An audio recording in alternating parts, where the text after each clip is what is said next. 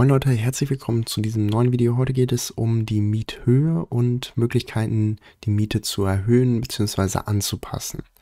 Schauen wir uns zunächst einmal die Miethöhe an. Diese ist anders als beim Mietwohnungsraum frei vereinbar bzw. die Grenzen der Vertragsfreiheit sind deutlich ausgeweiteter. Es gilt lediglich die Grenze aus dem Strafgesetzbuch für Wucher. Das heißt, die Miete für Gewerberäume darf 100% nicht übersteigen über der ortsüblichen Miete. Und das Ganze nachzuweisen ist natürlich erstmal schwer, weil sich die Frage stellt, wie hoch ist überhaupt die ortsübliche Vergleichsmiete?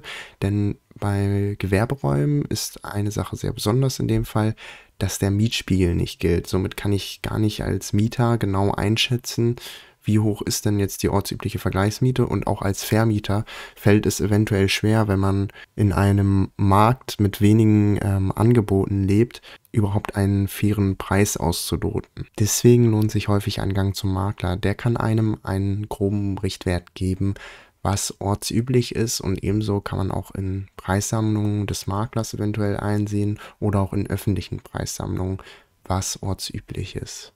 Im Allgemeinen lässt sich sagen, dass die Miete sich nach dem Standort natürlich richtet. Der ist sehr entscheidend, ebenso wie die Qualität der Ausstattung, also ob bereits Inventar vorhanden ist oder auch wie schnell der Internetanschluss ist. Und eine ebenso große Rolle spielt natürlich die Größe des zu mietenden Objekts und auch die Flexibilität. Gerade in Zeiten von Homeoffice ist es für viele Mieter von Büroräumen beispielsweise notwendig, dort auch die Räume gegebenenfalls verkleinern zu können. Und Flexibilität kann sich auch nicht nur auf die Räumlichkeiten, sondern auch auf den Vertrag beziehen. Also dass ich als Mieter eventuell die Möglichkeit habe, besonders schnell aus dem Vertrag zu kommen oder gewisse Räume wieder abzugeben. Dafür muss ich dann gegebenenfalls als Mieter auch einen höheren Preis natürlich in Kauf nehmen, einfach dieser Flexibilität geschuldet, die ja auch dem Vermieter gegebenenfalls, sage ich jetzt mal, schaden kann, wenn ich kurzfristig Räume loswerden möchte und das auch kann. Schauen wir uns an, wie wir die Miete erhöhen können oder auch anpassen können als Vermieter. Das ist nicht so einfach, denn für den Mietwohnraum haben wir ja ganz klare Regeln im BGB, auch wie Mieterhöhungen erfolgen können. Das ist nicht so bei Gewerberäumen. Da gibt es keine Gesetzesgrundlage, auf der wir jetzt die Miete anpassen können während der Vertragsdauer. Das heißt, wir müssen uns vorher genau überlegen, wie wollen wir vorgehen während der Vertragsdauer. Das müssen wir vertraglich festhalten. Und dafür haben wir drei Optionen. Es gibt die Indexmiete, die Staffelmiete und die Umsatzmiete. Die Index- und die Staffelmiete kennt man ja bereits von Mietwohnungen. Allerdings sind die beiden etwas anders geregelt beim Gewerbemietraum. Zum Beispiel bei der Indexmiete gibt es klare Regelungen im Preisklauselgesetz. Bei der Indexmiete müssen wir natürlich auch immer beachten, dass wir als Vermieter nicht nur Mieterhöhungen mitnehmen können, sondern wir müssen diese Mietsenkung auch weitergeben, denn es kann natürlich auch sein, dass der Index mal sinkt. Also gerade leben wir natürlich in einer Zeit, wo die Inflation relativ hoch ist aber das kann sich natürlich auch ändern. Das wird jetzt zwar nicht in naher Zukunft so sein, aber die Kaufkraft kann natürlich auch größer werden und dadurch würde dann auch die Miete entsprechend sinken. Voraussetzung, um diese Indexmiete zu vereinbaren, ist zum einen, dass wir einen 10-Jahres-Vertrag haben oder auch die Möglichkeit, dass der Mieter die 10 Jahre erreichen könnte, zum Beispiel durch eine Verlängerungsoption oder ähnliches. Und die zweite Voraussetzung ist, dass wir einen Index nutzen, der vom Statistischen Amt entweder auf Landes-, Bundes- oder auf europäischer Ebene rausgegeben wird. Und das ist ja der sogenannte Verbraucherpreisindex in der Regel. Es sind allerdings auch andere Indexe möglich. Diese müssen allerdings einen Branchenbezug aufweisen. Es könnte beispielsweise bei einem Bäcker der Getreidepreis zugrunde gelegt werden. Kommen wir zur Staffelmiete. Die sagt ja im Prinzip aus, dass wir in einem gestaffelten Zeitraum, der festgelegt ist, die Miete um einen gewissen Betrag erhöhen.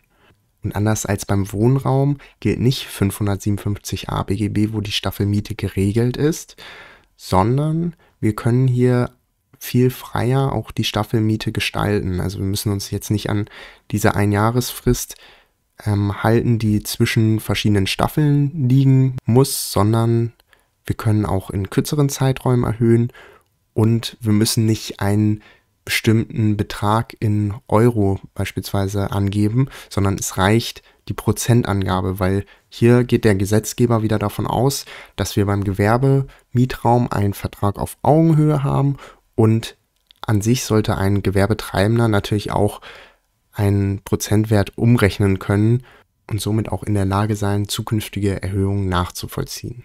Es ist natürlich dennoch ratsam, das Ganze auch vernünftig zu vereinbaren und da auch zu schreiben, wie viel Prozent es sich erhöht, um was für einen Betrag es sich handelt, einfach um da wieder Klarheit zu haben.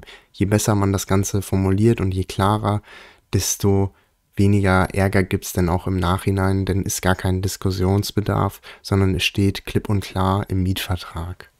Kommen wir zur Umsatzmiete. Diese ist ja relativ besonders und nur im Gewerberaum beziehungsweise auch bei einer Pacht anzutreffen. Die Umsatzmiete sagt aus, dass der Mieter einen gewissen Prozentsatz seines Jahresumsatzes als Miete entrichtet.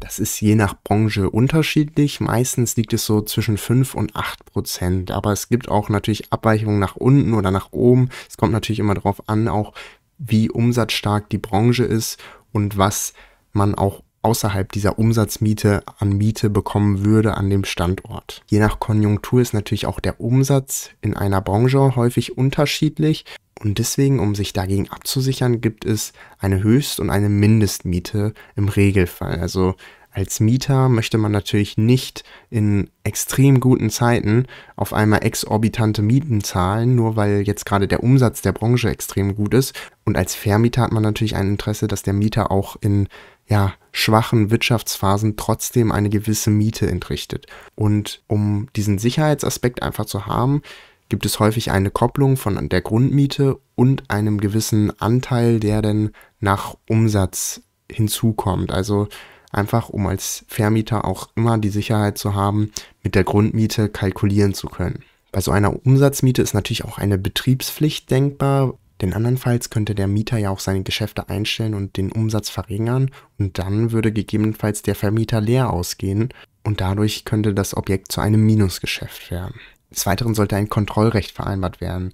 Dadurch kann der Vermieter beispielsweise beim Steuerberater die Unterlagen einsehen und auch den Umsatz nachvollziehen, um einfach zu überprüfen, wie legitim ist der Jahresumsatz, der mir gemeldet wurde.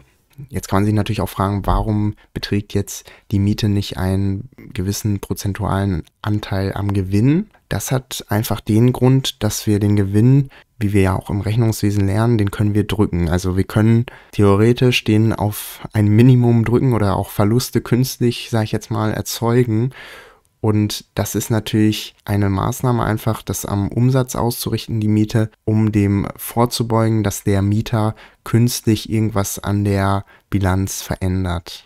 So, das sind ja alles Varianten, die wir ja im Vorhinein vereinbaren müssen oder mit einer Vertragsneuaufsetzung. Und jetzt stellt sich natürlich die Frage, was ist gerade bei einem unbefristeten Mietverhältnis, weil da habe ich ja gar nicht die Möglichkeit, jetzt einen neuen Vertrag zu vereinbaren oder sowas, weil der ist ja unbefristet und im Zweifel läuft der noch 100 Jahre und ich krieg nicht eine höhere Miete.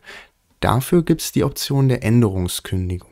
Und zwar gilt diese speziell für unbefristete Verträge und da hat der Vermieter die Möglichkeit, eine Kündigung an den Mieter zu überbringen, mit einem Angebot gekoppelt, das dem Mieter die Möglichkeit zur Fortsetzung gibt, allerdings zu einem entsprechend höheren Mietzins dann. Und so kann man auch in unbefristeten Verträgen einfach die Miete erhöhen. Und häufig wird das auch nicht so böse angesehen, sage ich jetzt mal, bei Gewerbemietern, weil einfach beide Vertragspartner wissen, es geht um, ums Geschäft und wenn man da zu hoch pokert bei der Kündigung und einen zu hohen Mietzins ansetzt, hat man im Zweifel natürlich auch das Risiko, dass der Mieter sich andere Räumlichkeiten sucht. Und dann ist damit natürlich häufig auch ein langer Vermietungsprozess, gerade in Lagen, die nicht unbedingt A-Lagen sind, verbunden. Und Dementsprechend entstehen durch den Leerstand auch natürlich dann Kosten beim Vermieter. Deswegen ist es, denke ich, auch in beidseitigem Interesse, dass man da ein faires Angebot unterbreitet, zudem der Mieter dort auch weiterhin in der Lage ist, Geschäfte zu betreiben. Das war soweit zu dem Thema. Lasst gerne ein Abo da, lasst Feedback da und teilt das Video natürlich. Bis dahin, ciao, ciao.